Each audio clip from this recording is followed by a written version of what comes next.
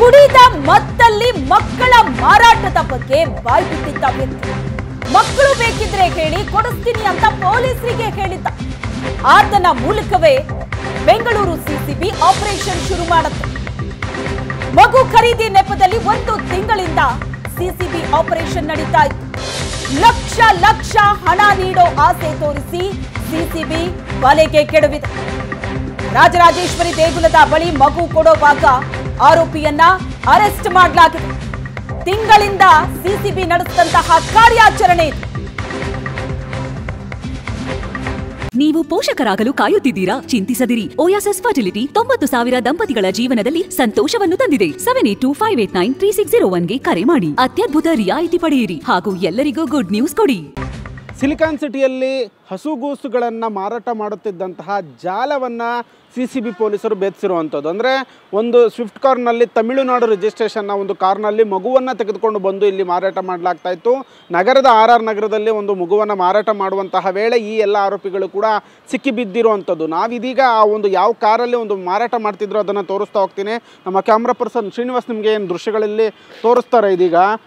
T N thirty three B U seven five nine eight ಎನ್ನುವಂತಹ red ಕಲರ್ನ Swift car ಏನಿದೆ, ಈ ಇದೇ ಒಂದು ಸ್ವಿಫ್ಟ್ ಕಾರ್ನಲ್ಲಿ ಮಗುವನ್ನು ಮಾರಾಟ ಮಾಡೋದಕ್ಕೆ ತಮಿಳುನಾಡು ಮೂಲದ ಒಂದು ಗ್ಯಾಂಗ್ ಇಲ್ಲಿ ಬೆಂಗಳೂರಿಗೆ ಬಂದಿರುತ್ತೆ. ಬೆಂಗಳೂರಿನ ಆರ್ ಆರ್ ನಗರದಲ್ಲಿ ಈ ರೀತಿಯಾದಂತಹ ಒಂದು ಮಗುವನ್ನು ಮಾರಾಟ ಮಾಡುವ, ಮಾಡುವಂತಹ ವೇಳೆಯಲ್ಲಿ ಪೊಲೀಸರು ಸಿ ಸಿ ಬಿ ಪೊಲೀಸರು ಎಲ್ಲರನ್ನು ಕೂಡ ಅರೆಸ್ಟ್ ಮಾಡಿರುವಂಥದ್ದು. ಪ್ರಮುಖವಾಗಿ ತಮಿಳುನಾಡು ಮೂಲದ ಕಣ್ಣನ್ ರಾಮಸ್ವಾಮಿ, ಮುರುಗೇಶ್ವರಿ, ಹೇಮಲತಾ, ಶರಣ್ಯ ಎಂಬುವರನ್ನ ಬಂಧಿಸಿದ್ದಾರೆ.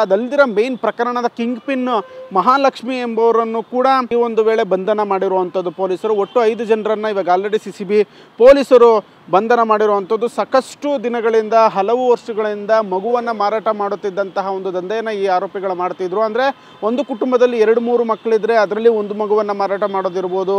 ಮತ್ತು ಯಾರಿಗಾದರೂ ಮಗು ಅಗತ್ಯ ಇದ್ದರೆ ಒಂದು ಹಣದ ಅವಶ್ಯಕತೆ ಇರುವಂತಹ ಬಡ ಜನರನ್ನು ಆ ಒಂದು ಮಗುವನ್ನು ಅವರು ಒಂದು ಜನಿಸೋ ಥರ ಮಾಡಿ ಅವರಿಂದ ಒಂದು ಮಗುವನ್ನು ಹಣಕ್ಕೆ ಮಾರಾಟ ಮಾಡ್ತಾಯಿದ್ರು ಒಂದು ಮಗುವನ್ನು ಮೂರು ಲಕ್ಷದಿಂದ ಎಂಟು ಲಕ್ಷದ ತನಕವೂ ಕೂಡ ಇವರು ಮಾರಾಟ ಮಾಡ್ತಿದ್ರು ಅನ್ನೋದ್ರ ಬಗ್ಗೆ ಮಾಹಿತಿ ಈಗ ಪ್ರಾಥಮಿಕ ಹಂತದಲ್ಲಿ ಸಿ ಸಿ ಬಿ ಪೊಲೀಸರಿಗೆ ತಿಳಿದು ಬಂದಿರುವಂಥದ್ದು. ಸಾಕಷ್ಟು ಸಂಖ್ಯೆಯಲ್ಲಿ ಈ ರೀತಿಯಾಗಿ ಹಲವು ದಿನಗಳಿಂದ ಈ ರೀತಿಯಾದಂತಹ ಕೃತ್ಯವನ್ನು ಈ ಒಂದು ಗ್ಯಾಂಗ್ ಮಾಡ್ಕೊತಾ ಬಂದಿತ್ತು. ಒಟ್ಟಾರೆಯಾಗಿ ಕಣ್ಣನ್ ರಾಮಸ್ವಾಮಿ, ಮುರುಗೇಶ್ವರಿ, ಹೇಮಲತಾ, ಶರಣ್ಯ ಹೀಗೆ ಮತ್ತು ಮಹಾಲಕ್ಷ್ಮಿ ಒಟ್ಟು ಐದು ಜನರನ್ನು ಇವಾಗ ಅರೆಸ್ಟ್ ಮಾಡಿದ್ರೆ ಹದಿನೈದು ದಿನದಿಂದ ಇಪ್ಪತ್ತು ದಿನದ ಹಸುಗೂಸನ್ನೇ ಇವರು ಮಾರಾಟ ಮಾಡ್ತಿದ್ರು ಅನ್ನೋದ್ರ ಬಗ್ಗೆ ಮಾಹಿತಿ ಲಭ್ಯ ಆಗ್ತಿರುವಂಥದ್ದು. ಅದಲ್ದಿರ ಈ ಒಂದು ಪರ್ಟಿಕ್ಯುಲರ್ ಪ್ರಕರಣದಲ್ಲಿ ಸಾಕಷ್ಟು ದೊಡ್ಡ ದೊಡ್ಡ ನಗರದ ಪ್ರತಿಷ್ಠಿತ ಆಸ್ಪತ್ರೆಗಳು ಕೂಡ ಸೇರಿದ್ದ ಅನ್ನೋದ್ರ ಬಗ್ಗೆ ಒಂದಷ್ಟು ಮಾಹಿತಿಗಳು ಲಭ್ಯ ಆಗ್ತಾ ಇದೆ. ಆ ಆ್ಯಂಗಲಲ್ಲೂ ಕೂಡ ಸಿ ಸಿ ಬಿ ಅಧಿಕಾರಿಗಳು ಇನ್ವೆಸ್ಟಿಗೇಷನನ್ನು ನಡೆಸ್ತಿದ್ದಾರೆ. ಅದಲ್ದಿರ ದೊಡ್ಡ ಪ್ರತಿಷ್ಠಿತ ಆಸ್ಪತ್ರೆಯ ವೈದ್ಯರೊಬ್ಬರು ಕೂಡ ಈ ಒಂದು ಪ್ರಕರಣದಲ್ಲಿ ಭಾಗಿಯಾಗಿದ್ದರು ಈ ಮಗು ಮಾರಾಟ ದಂಧೆಯಲ್ಲಿ ಭಾಗಿಯಾಗಿದ್ದರು ಅನ್ನೋದ್ರ ಬಗ್ಗೆ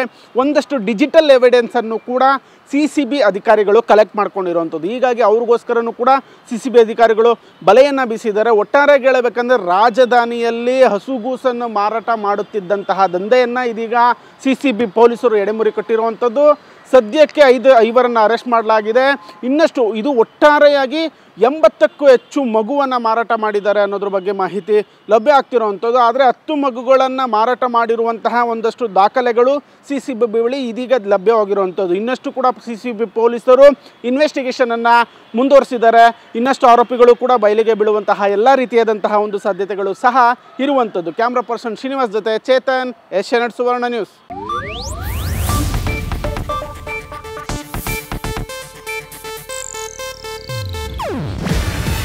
ಇದು ಏಷ್ಯಾನೆಟ್ ನ್ಯೂಸ್ ನೆಟ್ವರ್ಕ್ ಪ್ರಸ್ತುತಿ. ನೀವು ನೋಡ್ತಿದ್ದೀರಾ ಏಷ್ಯಾ ನೆಟ್ ಸುವರ್ಣ ನ್ಯೂಸ್.